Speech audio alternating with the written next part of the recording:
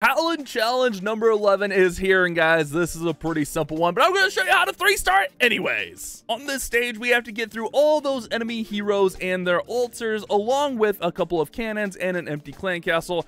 Now, this one's not too tricky, but there is a little bit of technique to it. Let's go ahead and hop in here. We have four barbarian kickers, we have one thrower giant, and then we have our king. So let's throw them in.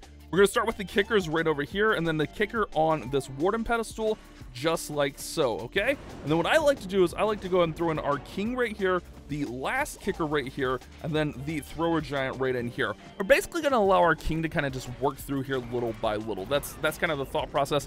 Also, the thrower giant usually can take out that queen just like that. Yeah, you see that? That was pretty nice. Now, the king does have spiky ball and Vampstache, so he's going to be able to take out quite a bit, but we're just going to kind of work in this corner and just kind of let him go. He's going to take a little bit of damage here, but just keep an eye on him, and then when he starts getting a little bit low, just hit his ability kind of whenever. But as long as he's dealing out damage, he's actually going to be healing because of that Vampstache. So level 1 queen isn't going to hurt him too much. Just let him work through here.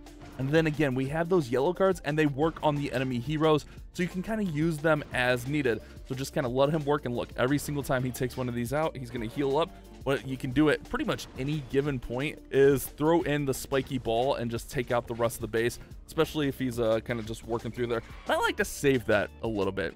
As long as you start on one end or the other, you're, you're going to be fine, guys. You're going to be fine. Uh, like I said, if you really want, you can take these heroes out uh, with the yellow card. Oh, wait. King took her up. But if we want to take this one out with the yellow card, we can do just that. We can throw in our spiky ball, just kind of work through there. And just like that, the challenge is done. So like I said, not a very hard challenge, but it does teach you a little bit about the yellow card while it's here. Next up, we have the impossible final. I took a little peek at it, guys. It's pretty challenging. I don't know if I'm going to be able to crack it, but come back in two days. Hopefully, I'll have a guide for you guys. Leave a like, subscribe. You guys have a great day. Keep on clash bashing.